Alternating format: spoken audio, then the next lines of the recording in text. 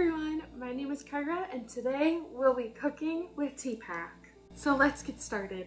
For the first part of our assignment, we needed to have someone come into our kitchen and pick a plate, a bowl, and a cooking utensil for us. However, I do live alone and my building is empty for the summer, so I don't have anybody in here. I do have a four-legged roommate and she wasn't very helpful with this. I did a poll on my Instagram and then I waited about 12 hours to see the results. So if you look at the results on the screen, you will see I had them vote from four different bowls, four different plates, four different cooking utensils. So I don't really have a lot of kitchen supplies because I do live alone and I primarily eat like the same thing every week. So I didn't have much for options, but they did vote. As you can see, this is the bowl that was chosen for me. And they chose this plate.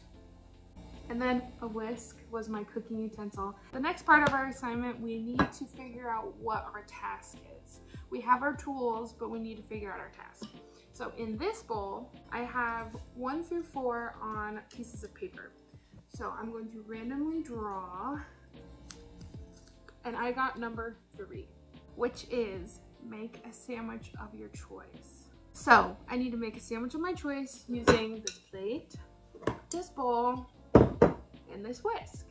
For sandwich options, I have bread, I have ham, cheese, mustard, I don't have any lettuce, um, but I have peanut butter and jelly. So I think we're gonna try to do a peanut butter and jelly sandwich using these tools. We'll be using this Sara Lee bread, Jif peanut butter, and strawberry jelly. A peanut butter and jelly sandwich is something that I actually eat pretty often. Um, like I said, I don't have a lot of dishes, like that kind of thing. So, we're gonna grab our bread. And I'm gonna put the bread on the plate because that makes the most sense. As I was grabbing the other ingredients, I really wanted to grab a knife out of the drawer, like out of habit. So I had to stop myself from doing that. All right, so I brought you down to the bird's eye view and we're gonna figure this out. So normally I would do peanut butter on one side and jelly on the other side. So we're gonna go ahead and do that. I'm thinking I'm gonna take my peanut butter. It's super empty, so that gives me a disadvantage because I have to somehow use this to get it out of the bottom. If it was right on the top, that might have been easier. I really want a knife or a spoon or anything, but we're just gonna do this. I really don't know which end to use. I'm thinking this one, but I don't know if it's gonna grab a lot. So we're just gonna try it.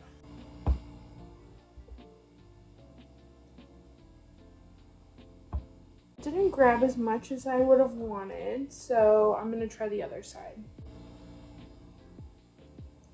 That grabbed a lot more. Okay, so now we have to get it out.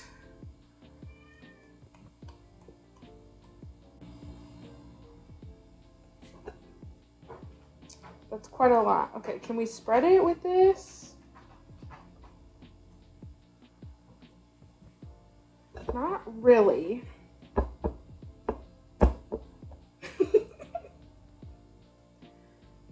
okay, we got that on there. Now I'm gonna use my bowl to spread this.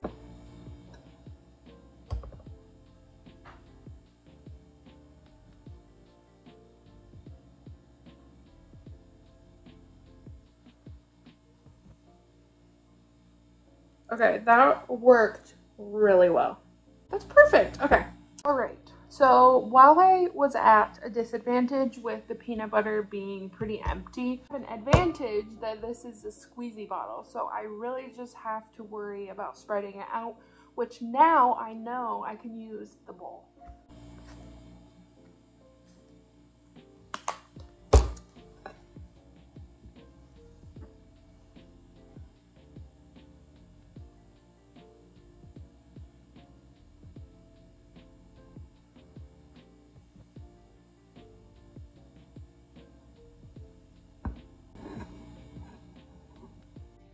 All right, so let's talk a breakdown of the tools that we had to use today. The plate, I just used it for its function to give myself a workspace and I feel like it gave me a sense of comfort with the discomfort of using the other items. When it came to the whisk, it worked better than I thought it would for getting it out, um, this end. This end didn't do really anything, um, but it was a little difficult to get it out. The whole time I really wished that I had a knife to spread it on, but honestly, using the edge of this bowl was faster than a knife and honestly it gave more of an even coverage of the bread. With this activity I would say it really shows how important it is to have the right tools to something. Um, just because you have a tool doesn't mean that you're at an advantage if it's not the correct tool, you need to get the job done.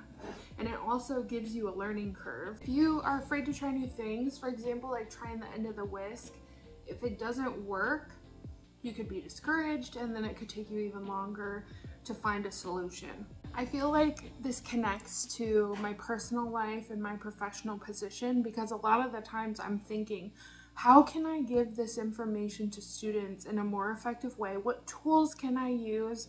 And sometimes I'm just using what I know. Whether that's a PowerPoint or an online quiz or something, while it is a tool, it may not be the best tool for giving that information to my students. So I think exploring different options and trying it first, trial and error, um, making sure that your students aren't afraid to try new things so that you can kind of figure it out together would be a great solution. So this was possible. Some of it was even better than traditional tools, but some of it just wasn't quite right.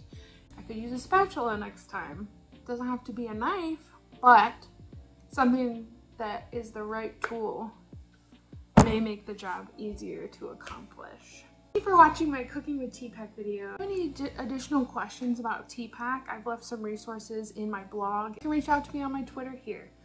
Thank you and have a wonderful day. I'm gonna go eat this sandwich now.